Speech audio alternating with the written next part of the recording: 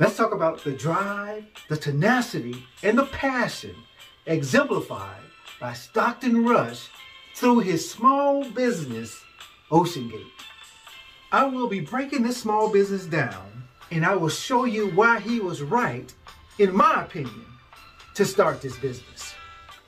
And hopefully, through him, Stockton Rush, you can see the qualities it takes to bring your small business to life.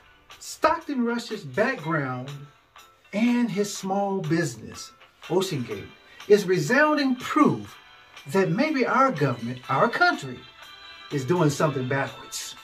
As a young man growing up in California, Stockton Rush loved aerospace and aquatics. His love for aerospace had to be greater because his education and his working career was in aerospace. He received a BS degree in aerospace engineering from Princeton, and he received an MBA from UC Berkeley.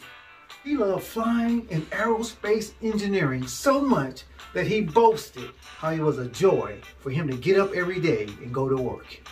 After retiring from aerospace, he decided to put his engineering acumen to work and he designed a small submersible or submarine. The submarine would be used for scientific research, media production, and site surveying. Common sense tells me that he was applying a lot of the theories and concepts that he learned in aerospace in conjunction with what's known in nautical engineering. But the elephant in the room is, why would he start a small business that requires a nautical engineer when he spent his life being an aerospace engineer?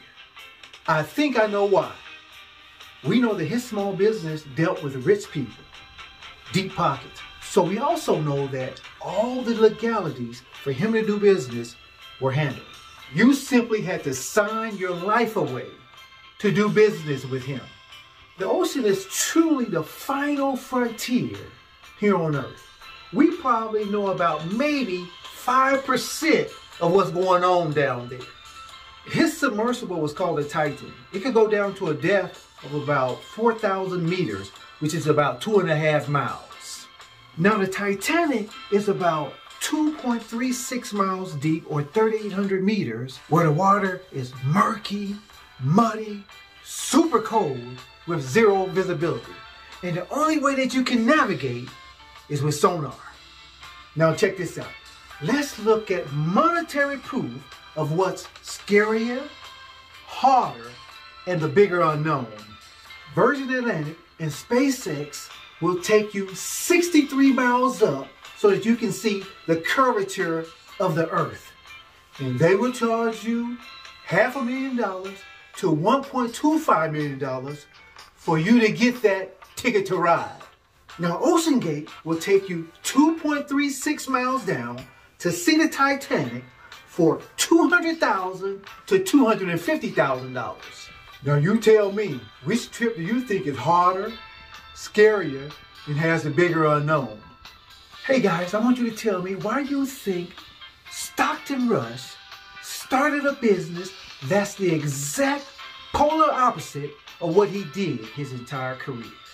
He went from aerospace to the depths of the ocean.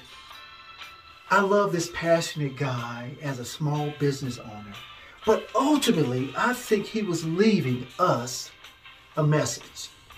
Think about this. He could have used his submersible in Florida, go down 12 feet deep at the most, and make tons of money from the tourists.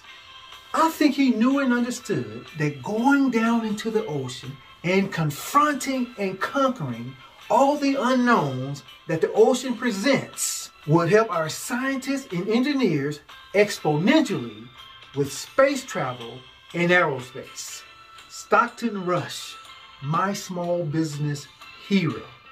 With the qualities he exhibited in his small business, he set an indelible example for others to emulate. His contributions will not go unnoticed because, in my opinion, he was looking out for our futures. And with his belief in his small business, he was willing to make the ultimate sacrifice. Stockton Rush, I love you, and you are truly a blessing to have here amongst us. Thank you again.